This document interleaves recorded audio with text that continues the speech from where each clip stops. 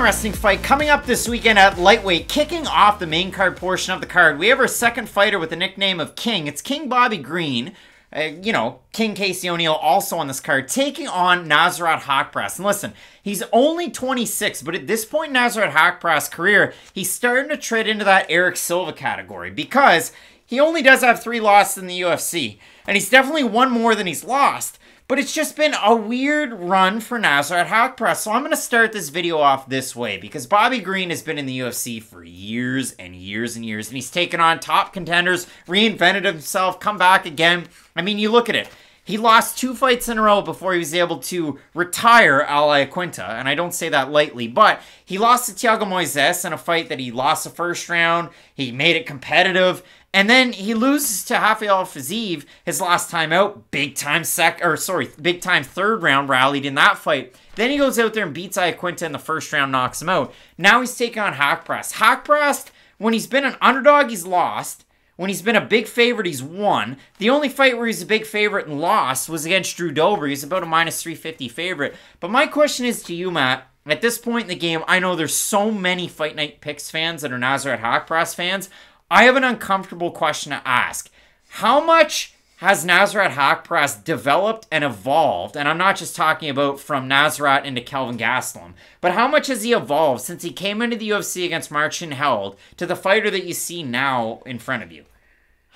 Not much, but I don't really blame him, and this is the reason why it's a lot easier to fight Marcin Held than it is to fight Dan Hooker. And I just feel like his level of competition has gone up significantly. Because if you do look at Nasrat Haqparast's first little run in the UFC, Thibault Gouti is only mentioned on this channel because you were there and you watched that fight in person. No other person probably knows who that is. So I just, with Haqparast, I do feel like he was the recipient of sort of a light scheduling early on in his UFC career. I just feel like we are sort of seeing the cream rise to the top, if you will, and he isn't having as much success when he does fight the upper levels of competition. Well, that's it. He comes in, he takes on Marcin Held, who was at the top of the Bellator mountain at one point, fighting guys in Lewiston, Maine. Look it up, it really happened. But Haqparast loses that fight, and that's okay. Like, I mean, he was coming in, lost his pro debut, won eight fights in a row, all by knockout, loses to Held by decision. Then he gets back on the winning train. Then he takes on Drew Dober, loses by knockout. Then he takes on Alexander Munoz, you know, Team Alpha Male coach, and then he gets a win over Rafa Garcia. And then he fights Dan Hooker, and there were so many extenuating circumstances around that fight. I mean, Nasrat had just lost his mother. He was flying between the States and Germany. The whole COVID situation trying to get around. Dan Hooker couldn't get a visa, but then he did. It was a wild, wild series of events. And in that fight, Nasrat had some success with his boxing. Dan Hooker became a wrestler, which is like some mythical figure. It was just a weird run. But the reason I asked that question Haqparast was knocking guys dead before the UFC. He still looks like the same fighter now. And the weird thing about Haqparast that I just kind of question is he trained at TriStar. He trained in Germany. He trained at Kings. He's all over the place. And then for his last fight coming up against Dan Hooker, I couldn't figure out what Jimmy was training at. And then there's Firas Zahabi in the corner. It's just there to me it almost seems like there's too many cooks in the kitchen. We praise some fighters for doing this though, and I do We feel do. like that has to be mentioned. We- like we- there's some fighters we think are amazing because of that same But, fact. but not when it's like all over the place. It just it it gets really weird for me. And Nasrat's still a very young prospect. I still think he's one of the better boxers you're gonna find at lightweight. It's just we don't see a ton of leg kicks. We don't see a ton of offensive wrestling. We don't see this big jiu-jitsu aspect of his game that's really evolved. That's the only reason I bring it up. And I say this because I was so high on Nasrat Haqparast at one point that coming into this fight against Bobby Green, it now makes me scratch my head because I thought Nasrat was going to be a force at 155 for a long time. Now that he's had these speed bumps and you're taking on a guy like Bobby Green, it really is tough to try and pick up the pieces. That's all. I agree 100%, but this also has to be said. Al Iaquinta wasn't in that fight to win. At all. I don't think he was. That was weird. It was a weird fight. Bobby Green hits him with one shot, puts him down, knocks him out. Al just gave up. Like, Al didn't get knocked out. Al gets hit by one shot, takes a knee.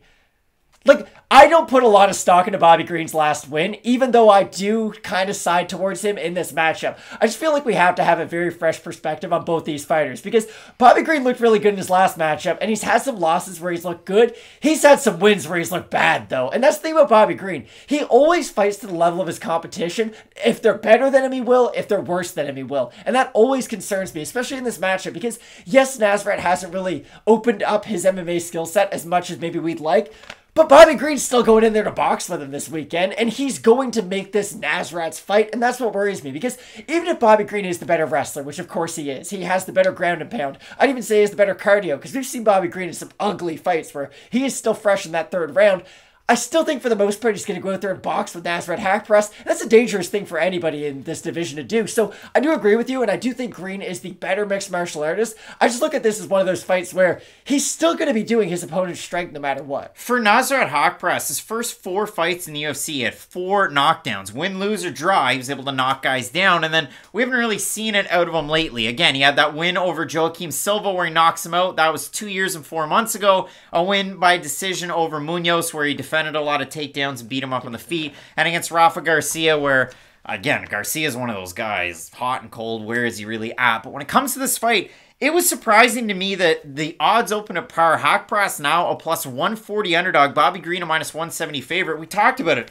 Fans are behind Nasrat Haqparast. We've seen a lot of that support in the comment section in the past. And if you're one of those fans, let us know down below. But I look at it on Tapology 767 total votes, 77% Bobby Green, 76% by decision for the 23% that have Haqparast, 80% by decision. If you told me when Fight Night Picks started that Bobby Green would be favored by the fans and the odds makers to beat Nasrat Haqparast, I would have shaken my head and turned the camera off. Yeah, I probably would have been in the same boat too. But for Bobby Green, like he was in the top 15 back in 2016, had this weird middle stage of his career where he just sort of fought on rank guys, and now he's kind of back to the fighter that he once was all those years ago. I think he will be able to continue some of that momentum. And here's the fun thing about Green that I, it hasn't been talked about at all.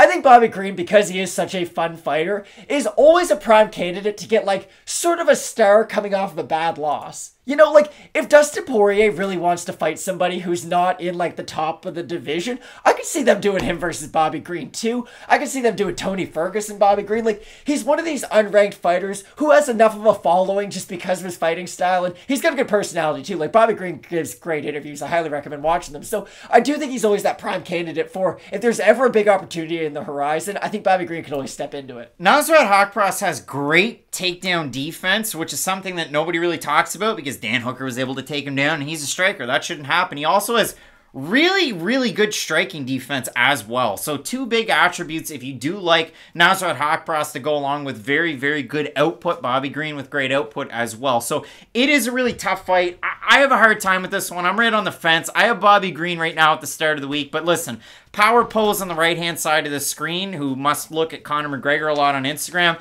definitely has a good opportunity in this fight. I'm picking Bobby Green at the start of the week, but I'm right on the edge. And if I switch the pick on question mark kicks, don't be surprised. So right now, start of the week, both of us going with King Bobby Green to get the win over Nasrat Haqparast. Again, let us know down below in the comment section who you have. Big time fights on this main card. Marcelo Rojo taking on Kyler Phillips. I can't wait for it. Let's keep locked in with Fight Night Picks. We always say, let's, let's get, get, into it. it.